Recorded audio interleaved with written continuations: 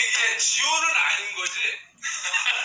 지호가 아니고 그런데 나는 난 진짜 목숨 걸고 하는 거야.